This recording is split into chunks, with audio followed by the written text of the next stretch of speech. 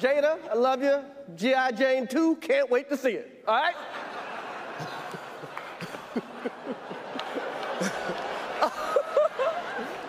That, was a, that was a nice one. Okay. I'm out here. Uh oh, Richard. oh, wow. Wow. Will Smith just smacked the shit out of me. Wife's name out your fucking mouth. Wow, dude. Yes. It was a G.I. Jane jump. Keep my wife's name out your fucking mouth. I'm going to, okay? I could, oh, okay. That was a greatest night in the history of television. Okay. Okay.